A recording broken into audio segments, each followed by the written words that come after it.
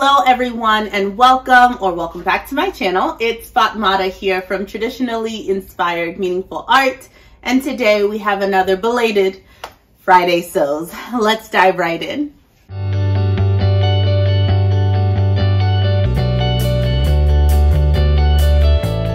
Okay, so welcome. And if you're new here, my name is Fatmata and I love all things sewing, creativity, and there's so much on this channel. So please have a gander, take a look at some of the other videos, and hopefully if you like what you see, you will consider subscribing. Thank you also to Jen from Today in Jen Sewing Room for kicking off the hashtag Friday Sews, where we creatives and sewists in the community can get together once a week to talk about what we've been up to in our sewing practice. So I am going to begin by sharing what I've made this week, what I have planned for the upcoming week, and then just more generally how life and me made May and all of that is kind of going at the very moment.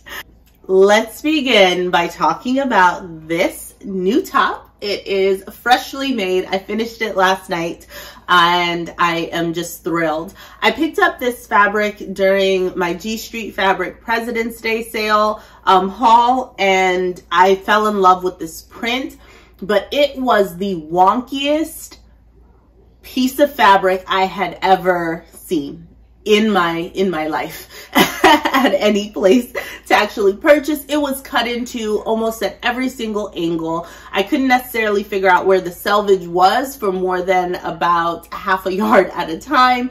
And they had this really huge diagonal cut going through one of the ends of it. So needless to say, I think anyone else who might have stumbled upon that would have sort of written it off as like, that is garbage. And I, though, could not get enough of this print. So let's take a look. It's this almost um, chartreusey green, not as yellowy, but uh, a really, really interesting sort of coloring. And it has these beautiful sort of floral um, flowers and the detailing all throughout. It is also a rayon jacquard, so it has this beautiful sort of lustrous sheen to it, in addition to the beautiful jacquard print all throughout, and I loved it.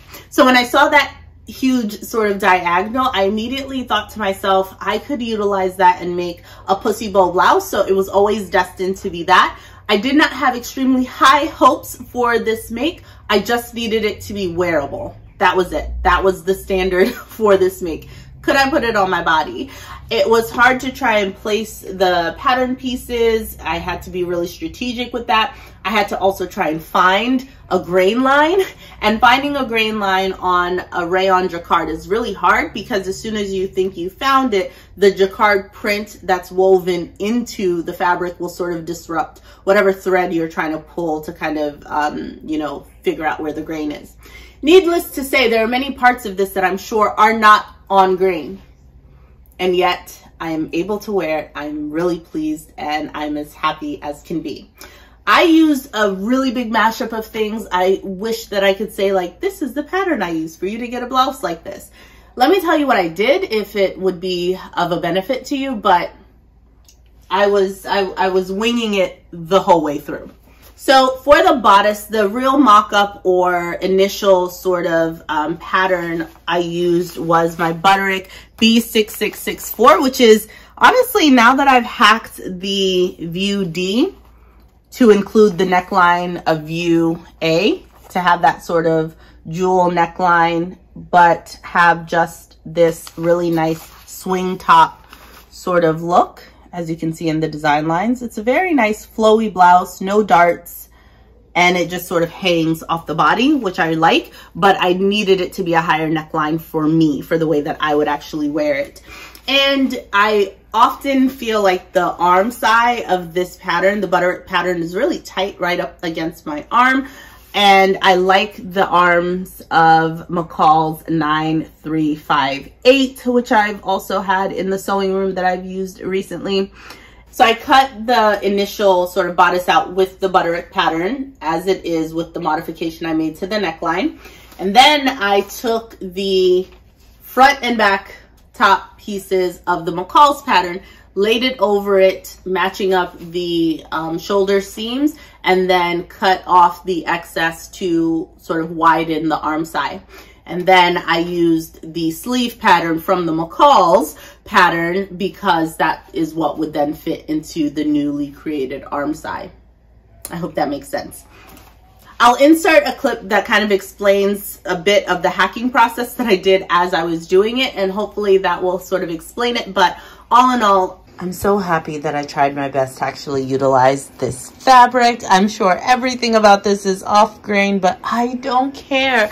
I tested out that new skill that I was practicing on my kiddos' clothes to make a placket, so I'm really proud of that. It's going to have a pussy bow blouse, so I just interfaced to stabilize the neckline, and because I didn't have enough fabric for the sleeves, I went ahead into my stash of those linens that I'm um, that I have out in the sewing room geared up for the Zimmermann dress and pulled some colors from the fabrics that I had and did some um, lines there. I do think I still need some more fabric, so I plan to add a cuff. I'm really excited about how this is turning out. All in all, really excited that this is a wearable garment. Um, I'm just wearing it here with jeans and yeah, couldn't be happier. I could see this being like something that I wear with a nice skirt, something high-waisted, but I'm just really excited. I needed this as sort of a palate cleanser of sorts. The first thing that I made this week was actually my culottes from Simplicity 1069. So here are my culottes that I made and I'm just so excited that this is no longer just fabric. It is a pair of wearable pants and it just makes me so happy.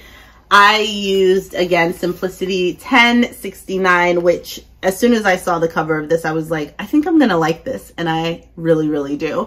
I made view B, so the culottes, and definitely have plans to make more, maybe even this upcoming week. It seems like it could be a really simple, easy, breezy sew. I, of course, overcomplicated the whole business and it ended up taking me like three nights. So after work and then the hours that I can actually sew once I put the kiddos to bed. Um, so over three nights, but I think that it would definitely be doable in much less time. I struggled because as I mentioned previously, I wanted to line mine the outer fabric that I used here is a lovely viscose fabric that I picked up last year from Mood Fabrics online. And it just, for my comfort level, for my body shape, I do not feel comfortable wearing a, material as light as viscose, just one layer as light as it is for my bottom half just by itself in a pair of pants. So I wanted to have a bit more structure on the inside. So I utilized this rayon to make the shorts. So basically I just made view C, the shorts version, and that's the length of them. So they're a bit uh, longer. So this probably stops at about my knee. And yeah, I just made it, it still has the same pleat detail. I inserted the invisible zip. That was something else that sort of took a little bit of mental gymnastics, just trying to make sure that I didn't accidentally sew the zipper in backwards when I was doing this. So it's really well made. I French seamed the viscose fabric and simply overlocked the rayon fabric at the very bottom because I didn't have enough of this fabric to do a deep sort of turnover for the hem. I ended up doing a facing at the hem so I could preserve as much length at the bottom of this as possible. I happen to have this cotton fabric in the sewing room from a previous make. So I just cut, um, you know, the length of it to kind of fit and it worked really beautifully as a facing. It also provides a bit of weight to the bottom of the pants because it's much heavier than the really drapey viscose. It also does kind of contort the fabric in an awkward way. I think I notice it more because I'm looking for it since I noticed it when I made it. But I think after it washes and wears, I'm hopeful that it will be fine. I just need to remember to kind of press it and make sure that the cotton doesn't shrink and then try and take the viscose with it in the future, I probably would have been better off, let's say like using the same rayon at the bottom for the facing because they're a bit more similar in terms of their weight and properties, but I think there was a bit of laziness because I would have needed to interface the rayon. It was it was a lot. Whereas this cotton is so structured and sturdy and it has a built-in grid since it's gingham. So I just like cut along the lines and it works. I love them. It's fully lined um, or like lined up until the knee and I'm really happy with it. I made it and it was really tight. So I think in last week's Friday sews, I mentioned to you that it was super tight. And then I unpicked one of the pleats in the front. And then it was too loose, of course, because that gave me like four inches that I didn't, I didn't need all of that. So I just went back in and just made a more shallow pleat. So I think all in all, this pleat is maybe 5 eighths of an inch or so. So maybe all I needed was of an inch, which is three fourths of an inch. three fourths of an inch. So maybe just about an inch is what I needed. So I am going to consider either transferring some of this information to the actual pattern piece so that I don't end up making the same sort of mistake again. And that could just be sort of widening the um, pant leg on the sides by like 3 eighths of an inch on both sides. Um, and that could be a good solution. I also believe that I need to add more, like extend the um, crotch curve a little bit because I need some space for the back. Yeah. But other than that, look at how cool. They are just so freaking cool. When I actually finish making them, I have the um, rectangle top in my sewing room. So I just like put them on together and it looks so good together. I didn't want to get too comfortable because I did already state that I will most likely be giving this to my sister and I didn't want to start reconsidering, but like the reconsidering started. So I don't know. I don't know. I might have to just add some uh, add some fabric to the very top so that it's not as wide and gapey. That's one of the reasons why I didn't want to keep it, but like they go together so, so well, like so well, because it picks up all of that beautiful red that's in the trousers. Oh, I love them. Um, I love it so much. So 1069 definitely going to become hopefully a staple in my wardrobe and I can't wait to make another one. So next up, something that I just wanted to say quickly, with Me Made May, it has been encouraging me, of course, to wear more Me Made items, and I finally got to wear my new look skirt, and I'll pop up the name of this pattern up on the screen. I put it back in my, like, the rest of my pattern stash, but I was really hard on myself last month when I made this. I think I was in a funk, and there was some issues with the pleating as far as like getting it to be even all the way around. And I felt like this section right here was lackluster in its pleat and there was so much more as far as uh, sorry I keep saying pleating gathers so the gathers here were so much denser than they were in this particular spot and of course when we're making something and in the process of doing it we have our eyes sort of locked into all of these mistakes and, you know, like ways that we could have done it differently. However, when I wore this skirt, put on my chunky sweater, I, you couldn't tell me anything. Like the skirt was cute. I actually enjoyed wearing it. I liked it. I loved the fit of it. And I had to look for the section that the gathers were not as dense. The fact that I had to search for it let me know that it wasn't that in your face and it's okay and I had never actually gone in to attach the lining of the yoke uh, to the to that first tier to actually, you know, like tie up all the loose ends and complete it because I was for sure gonna go back in and fix that section. A little part of me still might go back in and fix that section, but I'm saying all this just to say that even if I didn't, this skirt is done. It was wearable. I wore it and I could hardly even notice that little blemish that was so glaring to me when I was making it.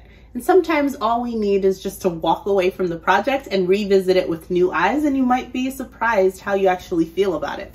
So really, really excited that I got to wear this and that Me Made May is encouraging me to wear some of the items that I've made and just need a little bit of love or another go as far as what's next, I am, I really think it's time.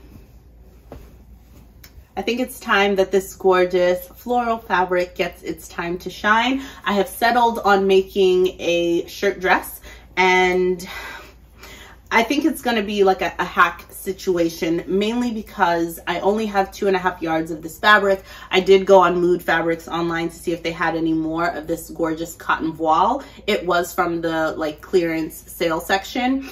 So when I went to go and look at it, there was only a yard and a half of it. No, I don't, I don't think it was in the clearance section. I think that's the issue. Um, there was only a yard and a half of it. A yard and a half, I went and put it in my cart. I didn't want to, I think you have to purchase like a hundred dollars or 150 bucks in order to get free shipping. And I was like, I'm not even going to begin that race because I'm not going to win. And with shipping for just that one and a half yards of this fabric, it was like 30 bucks. No, no, no, I'm not going to do that. So um, it was fine.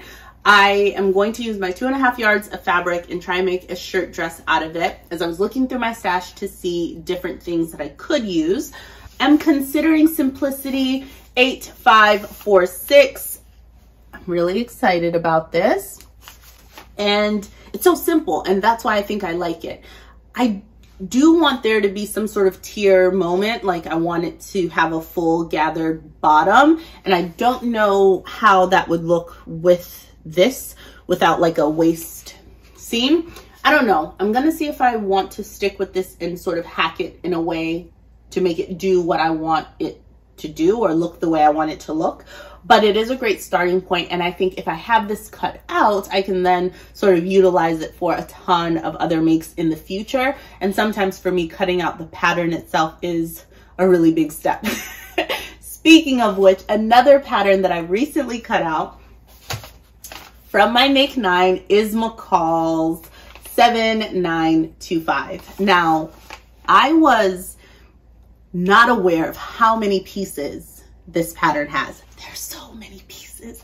There are so many pieces in this. And um, had I known that I might have had other feelings about adding it to my Make 9, but I'm so happy that last night when I didn't have any more like sewing mental capacity Friday night, I thought to myself, you know what I could do is cut out a pattern. Like I could do that. I also recognize that I bought the larger size range, so from 14 to a 22. And I think I did that because maybe looking at the back, thinking about the um, waist, sorry, the hip measurement. However, I often grade out at the hips and use the smaller size range because what I really want to fit is the bodice.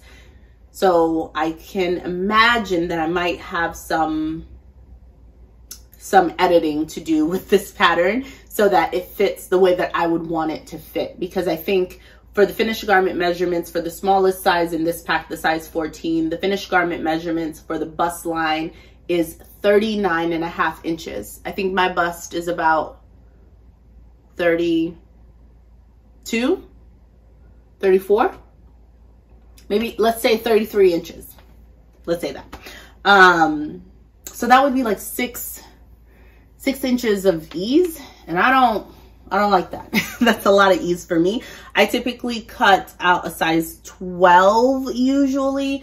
And um, for simplicity at least, but for McCall's, I don't, I guess I don't use it as much. But anyways, a size 12 here uh, for the finished garment measurements at the bust line is a 37 and a half. Yeah, I, I'm usually comfortable with about two to three yards, yards, about two to three inches of ease, particularly at the bust. I think in this sort of garment, I would want it to fit. While I do know it has a lot of gathers coming from the um, neckline, because this doesn't have darts, that's how you're gonna get the shaping. I have a really small bust. I don't need a lot of shaping, so sometimes I need less ease. Otherwise, it just looks big on me. All right, so I am going to have to work with this, figure it out because it does have, um, it has the like midriff panel and then it also has the whole neckline situation, which those are multiple pieces. So if I did anything to kind of bring in the bodice, I would have to make those same alterations to the neckband, which is not something I necessarily want to figure out. Luckily for me though, this is not on the docket. It's not something I need to scratch my head about right now. But when I do go to do this pattern, I might have to consider that. McCall's is also on sale right now. I think like this weekend. So if I'm really feeling like it, I might have to buy it again in the smaller size range, which I never do. And I don't want to make a habit of. This is not who I am. but if I need to do it, I might consider it because I, I think for the neck band, it's just, it's a lot to figure out the curves of certain things. We'll see. Another reason why I took out the Simplicity 8546 out of my stash is because I do need to really solidify what pattern I want to use when I start working on the Zimmermann dress, which will be on the docket after I finish the floral mood fabric shirt dress. But you would be proud of me. I started doing some math in my handy dandy notebook. And as you all know, when I start doing math, it gets real. And that means we're about to make magic, which we are. So the first thing that I needed to start figuring out was the width, the length, the length. The length of fabric I would need for each of the tiers of this Zimmermann inspired dress. I have sort of settled on the fact that each of the, I'm gonna call them rows or tiers. So each of the layers or tiers is going to be about seven inches wide finished garment measurement. So I might be cutting them at about eight inches wide and then calculate or account for about half an inch for seam allowance instead of 5 eighths, like half an inch for seam allowance, and then just cut it eight inches wide, okay? There are going to be eight layers or eight tiers of this dress so eight different colors. I've been playing with the linens that I have in my stash, trying to work out which colors I have that really do fit the Zimmermann inspired dress palette exactly and which things I'm having to substitute or you know make amends and things like that because these are primarily thrifted and or um, found linens lower cost, right? So either from the $2.97 section at G Street Fabrics or thrifted or things that I already had in my stash from my runs to Joann moons ago. So that's what I'm using and that is the goal and has been, which is why I'm not just exactly color matching to a T to the Zimmermann dress because I'm going based off of what I have in my stash. So there are going to be some substitutions. The really nice thing about having done the math is that I'm starting to recognize where I don't have enough fabric for some of the colors based on how long that piece of fabric needs to be to gather in. Um, I am going to be doing one and a half times the length of each previous tier. That's how gathered I want it to be. One and a half times the previous tier, which means by the time you get to layer eight, by the ankle, that's a lot of fabric. It's a lot of fabric. So I'm going to start with the um, third tier. That is going to be the first place where I start gathering. And considering that I keep my fabrics in this order, which is not necessarily guaranteed, but for now, let's just say these were the fabrics. I would have these two would not be gathered just yet because when I look at the Zimmermann dress, uh, they don't start gathering until the third tier. So this would be the first gathered tier and it would be one and a half times the length of the orange and then so on and so forth. So by the time I get to the very bottom, that's gonna be a lot. To be exact, it should be roughly 387 inches long. That's a lot of fabric. Oh, I'm so happy this is not like a circular item and that it's just straight cuts because hemming that would not be pleasant. And for those of you who are like 387 inches, like what does that mean? If you consider the fact that 36 inches is a yard, that is more than 10 yards lengthwise of gathered fabric at the bottom of this. So it's gonna be big. Which then brought me to the really sad conclusion that unfortunately I will not be able to have this striking Kelly green fabric as the bottom layer, which if you look at the Zimmermann inspired dress, their last layer is very similar to this really deep green color. And unfortunately I can't because the, the longest I could get this fabric to span at, again, eight inches width. Um, the longest I could get that to go is 216 inches.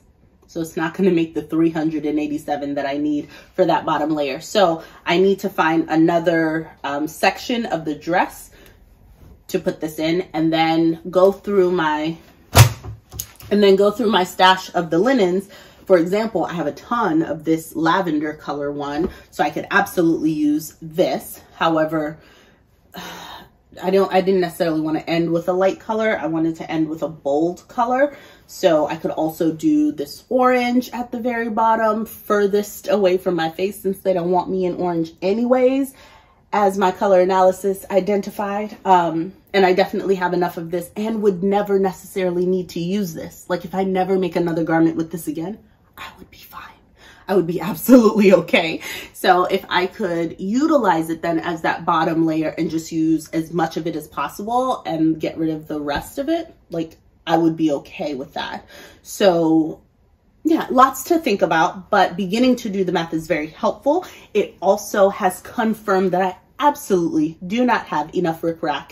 And I don't know how much rickrack I'm gonna have to find in the world to finish this as a mostly thrifted make, uh, which, um, you know, it's making me a little bit uneasy, but better I know it now. And also making the actual dress, like the foundation of this, is the most important thing right now. So I can absolutely make the dress and never put the rickrack on or just put what I can. And so long as I know that the dress is inspired by, not a duplicate of the Zimmermann inspired dress, then I can sleep happy at night and it's going to be okay. But look at it. I just, it's been fun also like playing around with the colors and just trying to get them to seem balanced and cool and fresh and interesting. And it gives me a lot of appreciation for all designers out there because there is a color story that happens with a lot of the things that they do. And we look at things that shouldn't work and they do. And you can't quite figure out like why why does that work when they do it? So as i'm here trying to play with the colors that i already have and make them work it's been interesting to see like i squint my eye i tilt my head and i'm trying to like make sense like does it go? Does it make sense? To you know like how the colors are playing off of each other. So that's been fun too. Do i have anything else to say? I would really like to find an excuse to wear this this week and I need to just know if it's gonna stay in my wardrobe or if I just give it away and stop looking at it and add the buttons to the back and to the sleeve cuff and give it to somebody else who will wear this. But um, this was a make that truly has allowed me to to examine my relationship with my favorite fabrics and how you can have a favorite fabric and sometimes they don't quite work out and then you end up having to give it away anyways. So it's just really made me examine how attached I can get to certain fabrics. Um, but yeah, I hope I can make it work. I hope maybe when I wear it and style it in an actually uh, meaningful way to work, that maybe I can see potential in it and want to keep it. But yeah, I think now it's it's now. Like I have to I have to put this in the rotation at some point.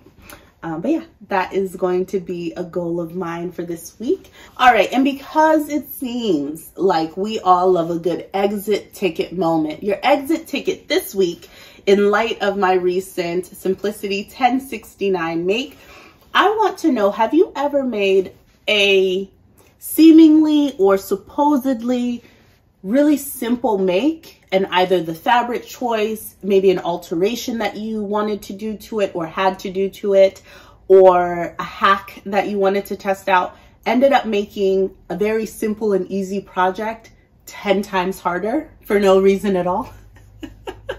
That's what I felt like I did with these culottes. Like this should have been a cutout one night, sew it up the next day sort of make. And it ended up dragging out to be like a three night or four night event and it didn't need to be.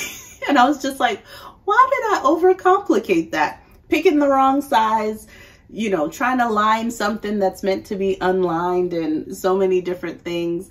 It's hilarious, but I'm so proud of the make. It just, the journey to get there, I was like, it didn't need to be that hard that didn't need to be that hard. Let me know if you have an experience like that. Otherwise, let me know if there's a make. How did this shirt blouse turn out? Um, I'm not gonna like rave like this is the best thing I've ever made, but the fact that it is a wearable garment when it started off as this like origami cut hacked piece of fabric feels like magic. It feels like joy and I'm really excited about that. Let me know how your sewing is going this week and I hope to see you next time. Until then, my friends, stay creative. Bye-bye.